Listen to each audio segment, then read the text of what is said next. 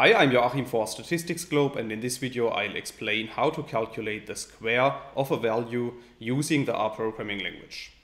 In the video I'm going to show you several examples and the first example is based on the data object that we can create with line 2 of the code. So if you run this line of code you can see that at the top right of RStudio a new data object appears which is called x and we can print this data object to the RStudio console by running line 3 of the code and then you can see at the bottom that our data object x contains the value 5.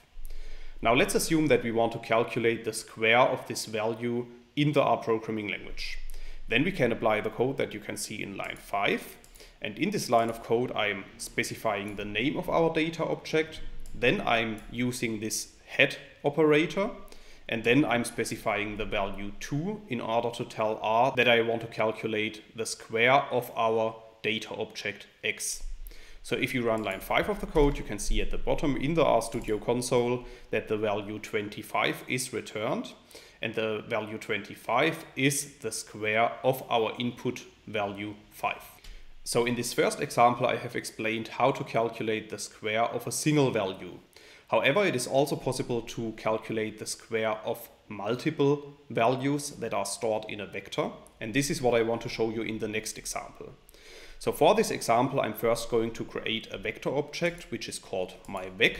So if you run line 7 of the code, you can see that a new vector object appears at the top right of RStudio. And we can print this vector object to the RStudio console by running line 8 of the code. And after running this line of code, you can see that our vector object contains five values, the values 1, 2, 3, 4, and 5. Now, if we want to calculate the square of each of these values, then we can apply basically the same code as we already did in the first example, as you can see in line 10 of the code. So in this line of code, I'm specifying the name of our vector object, myVec. Then I'm specifying the head operator, and then I'm specifying the value 2 to tell R that I want to calculate the square of each element of our vector. So if you run line 10 of the code, you can see at the bottom that a new vector object is returned, which is also consisting of five values. And each of these values is the square of the corresponding input value of our input vector.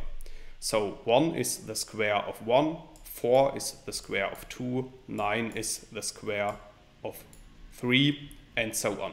In the next example, I want to show you an alternative way on how to calculate the square of a vector. And this is what I'm showing in line 12 of the code. So in this line of code, I'm using the multiply sign instead of the head sign, as you can see in line 12. And in front of the multiply sign and after the multiply sign, we need to specify the name of our data object. So in this case, our vector object is called myVec.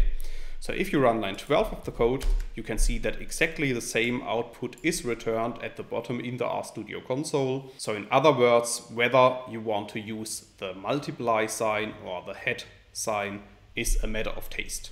In the last example of this video, I want to show you how to calculate the square of a data frame. So for this, we also need to create some example data and we can do that by running lines 14 to 16 of the code.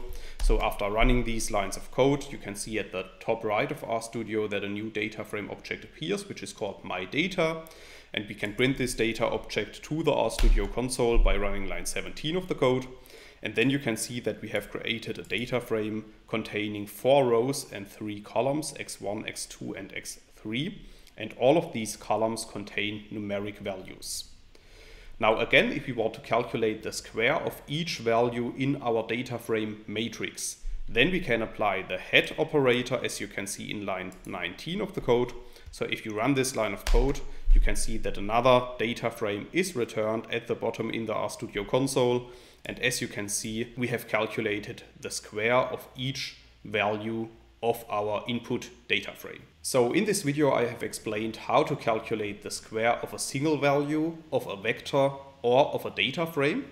However, in case you want to learn more on this topic, you could check out my homepage, statisticsglobe.com, because on the homepage I have recently published a tutorial in which I'm explaining the content of this video in some more detail. I will put a link to this tutorial into the description of the video so you can check it out there. And furthermore, if you have liked this video, I would be very happy if you leave me some positive feedback in the comments or if you give me thumbs up on the video. And make sure to subscribe to my YouTube channel to get notifications in future when I'm releasing new videos to the channel. That's it for this video. Thanks a lot. See you next time. Bye bye.